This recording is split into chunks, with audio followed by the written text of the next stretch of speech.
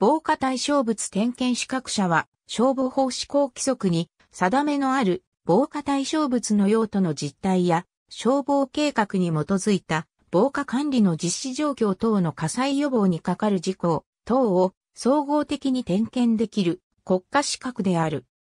点検基準に適合している防火対象物に掲示される防火基準点検済証の一例平成13年9月に発生した新宿区歌舞伎町ビル火災を契機として平成14年4月に消防法の一部が改正され、新たに防火対象物定期点検報告制度が設けられた。これを受けて、一般財団法人日本消防設備安全センターは、総務大臣の登録講習機関として、防火対象物点検資格者講習を全国各地で実施している。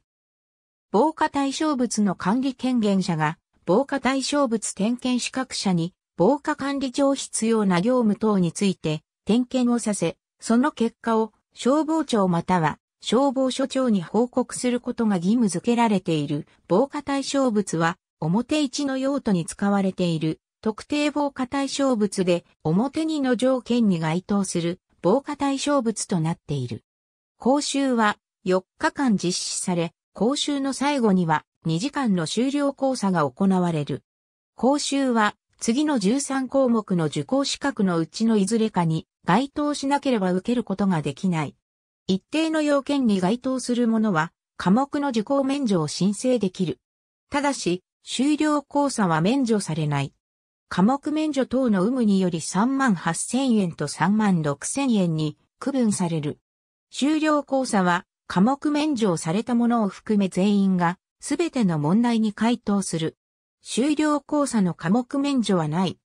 各分類ごとに50%以上で全体の出題数の70%以上正解すると合格となる。終了講座の結果は講習終了後おおむね30日後に通知し、安全センターのホームページでも公表する。防火対象物が大規模かつ深層化し、火災危険も複雑多様化する中で、防火管理のあり方や法規制についても変化し改正されていることから、これらに対応した的確な最新の知識を得るために、防火対象物点検資格者には、再講習が義務付けられている。